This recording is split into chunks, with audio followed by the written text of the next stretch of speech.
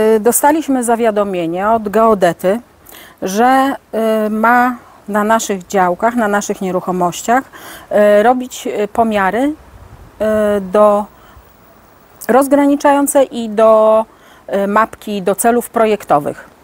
Ponieważ my nic w tej chwili nie projektujemy na swoich działkach, byliśmy zaniepokojeni. O co chodzi? Otrzymaliśmy od geodety koncepcję, która na razie nie wiemy, co o niej myśleć, bo szokuje. I e, chcielibyśmy się dowiedzieć, kto, w jakim celu i, i na jakich zasadach prawnych e, próbuje e, projektować czy realizować jakieś inwestycje na naszej nieruchomości. E, Koncepcja zakłada drogę wzdłuż jeziora i ścieżkę pieszo-rowerową.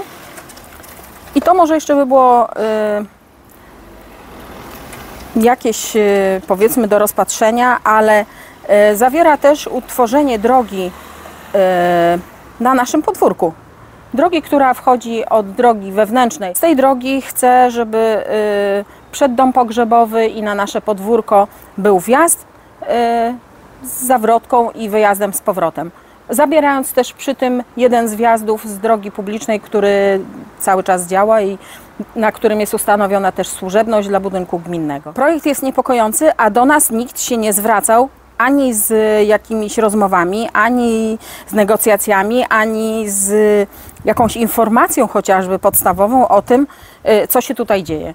Jeśli to faktycznie urząd jest inwestorem y, tej y, proponowanej w koncepcji inwestycji, no to prosiłabym przede wszystkim o no, wyjaśnienie tej całej sytuacji.